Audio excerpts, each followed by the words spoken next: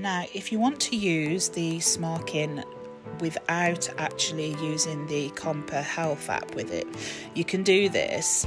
And all you do is simply press and hold the power button down for two seconds, and you'll see it comes on.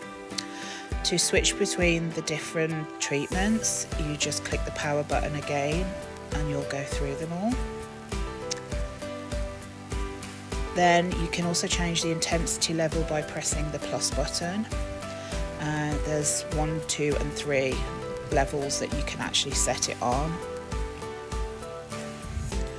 Uh, it's really that simple, and to turn it off, all you do is press and hold the power button, and it's switched off. Like I said, it's a really, really easy to use device, whether you use it with the actual app or whether you choose to use it on its own as is.